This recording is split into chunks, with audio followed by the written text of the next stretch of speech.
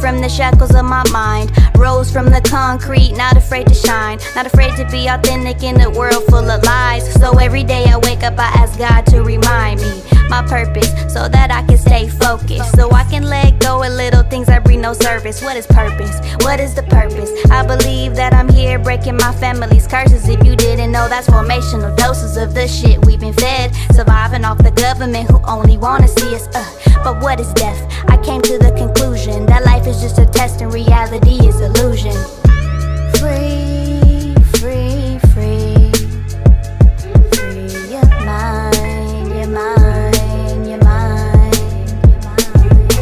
Dreams stay be conscious, Martin said he had a dream. But if you look real close, it wasn't all what it seemed. Many of us empty, filling the voids with the greed. Daily routine revolves around working hard, making ends meet. So we meet again in this life of sin. Why we come here only to forget? Or do we come here to forgive the ones who did us wrong? I'm speaking in past tense, they wanted us to bend, all they did was pretend. Looking in the mirror like, here we go again. You got to have a plan, be careful of your mans. But if you find somebody with charisma, hold them close as you can. Free,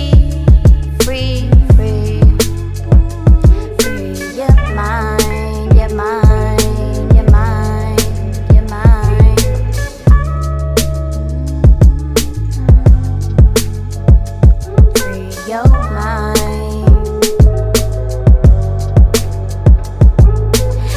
I fly away, don't know in which direction. Just taking off and harnessing my blessings. Life is often stressing, so I'm speaking my repressions. Healing from my childhood, so I can speak this message. When I feel I'm out of place or feeling like I'm strange, just take a step back. Tell myself it's gonna be okay. Being different is the dopest shit to be. Look at you, look at me, gaining knowledge, being free. Free.